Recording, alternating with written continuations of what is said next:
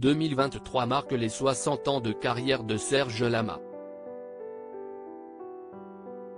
À cette occasion, France 3 diffuse ce vendredi 27 janvier, en seconde partie de soirée, un documentaire de Mireille Dumas baptisé Serge Lama, La vie à la folie. Le chanteur de 79 ans se livre sans concession sur ses succès musicaux, mais parle également d'amour, et notamment des femmes, qu'il a chanté tout au long de sa carrière. Durant sa vie, Serge Lama a connu trois grands amours, Liliane Benelli, Michel Potier et Luana Santonino. Au début de sa carrière, l'interprète du titre Femme, Femme, Femme a été en couple avec Liliane Benelli, une pianiste qui a notamment collaboré avec Barbara. Mais, leur histoire d'amour va prendre une tournure tragique. La jeune femme décède le 12 août 1965 dans un accident de voiture. Présent dans le véhicule, Serge Lama apprendra le décès de Liliane Benelli sur son lit d'hôpital, un mois et demi après les faits. Encore aujourd'hui, le chanteur ressent de la culpabilité et n'a jamais oublié son premier amour, je me sentais responsable, parce que c'est moi qui avais insisté pour qu'elle soit pianiste du programme avec Marcel Amont. Si je n'avais pas insisté, elle ne serait peut-être pas venue avec moi dans la voiture, a-t-il dit en octobre 2021 sur le plateau de Vivement Dimanche.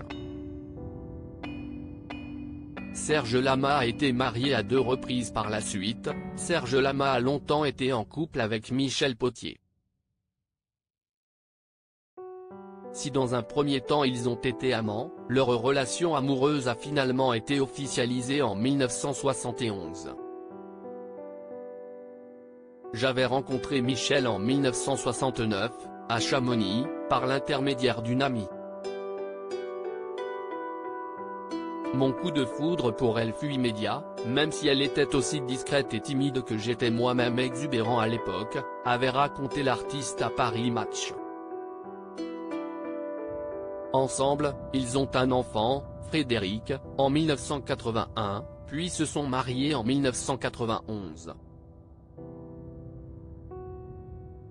Durant ces années de couple, Serge Lama a été infidèle à plusieurs reprises.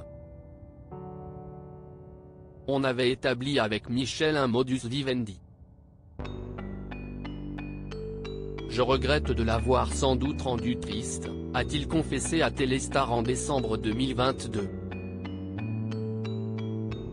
Michel Potier est décédé d'un AVC l'âge de 71 ans en 2016. Serge Lama est désormais en couple avec Luana Santonino.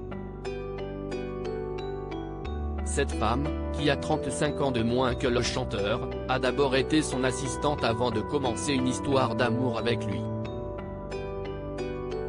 Cette romance a débuté pendant son mariage avec Michel Potier, et s'est concrétisée devant Monsieur le maire, le 11 février 2022. Ça fait près de 20 ans que je suis avec Luana et je me suis dit, je ne sais pas quand je vais partir. Est-ce que je peux laisser cette femme comme ça? Sans lui donner mon nom? Non, ce n'était pas possible. Luana Santonino devait s'appeler Lama, a confié Serge Lama à Paris Match en 2021. Crédit photo, Cyril Moreau.